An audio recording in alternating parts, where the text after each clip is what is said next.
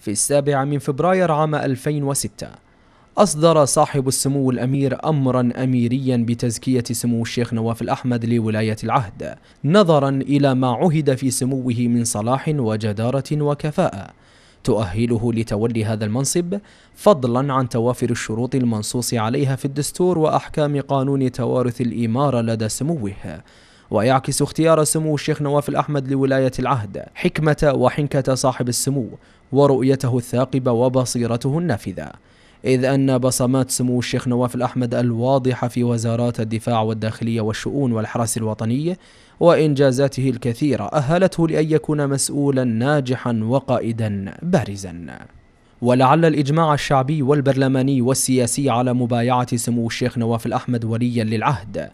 جاء من معرفة أبناء الكويت بشخص سموه ومعايشته لهم بجميع أمورهم واهتمامه البالغ بمشاكلهم وأضاء ذلك مسيرته بنور الحب والوفاء والولاء من أهل الكويت.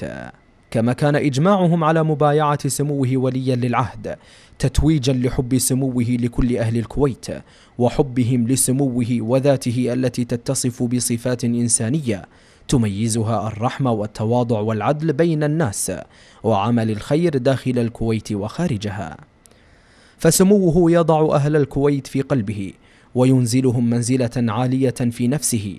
لهذا يحرص على أن تكون جهوده رافدا من روافد مصالحهم ولا يتوانى في دعم تطلعاتهم وطموحاتهم نحو المستقبل الزاهر.